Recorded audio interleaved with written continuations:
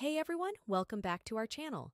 Today I'm going to show you how to add a picture to Facebook, so let's get started. Open your Facebook application on your smart device and check if you are logged in to your account. By opening the Facebook application on the homepage itself, go to the option What's on your mind and click on it. Then on the next page, in the drop-down menu, scroll down to the photo and video option and click on it. The application will open a gallery where you can choose the photo you want to place on your timeline. By selecting a photo, all you have to do is click on it. Then a new page will open with the photo you selected, and the only thing left is to click on the next option. When you're ready, tap or click the Post button to share your photo on your timeline. And that is that. Your photo is now live on your Facebook timeline for your friends and followers to see. And there it is. By following these simple steps, you can easily add a photo to Facebook.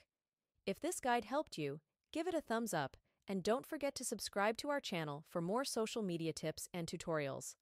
Thanks for watching and see you in the next video.